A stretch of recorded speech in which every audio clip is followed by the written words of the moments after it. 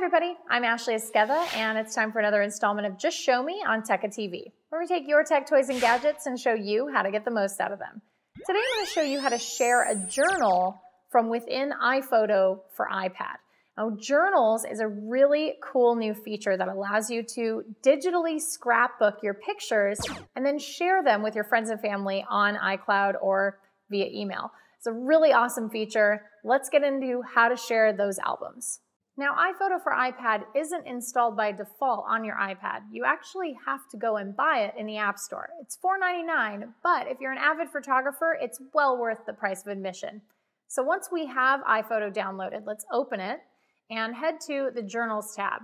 Now, I've got a journal that I have already created that I'm very excited about. I want to share it with everybody, and it is a beautiful trip down to Cancun, Mexico. And you can see all these beautiful pictures. I've scrapbooked it, it's ready to go.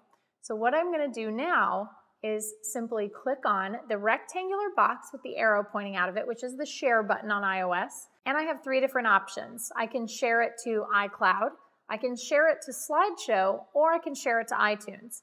Now, if you tap on iCloud, it will ask you if you'd like to toggle on publishing to iCloud.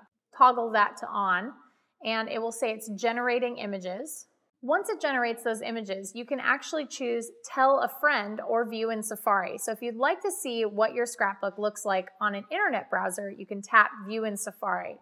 Journals is a great choice for new kids, vacations, graduations, and other life events that you want to share with friends and family who might not be able to be there with you.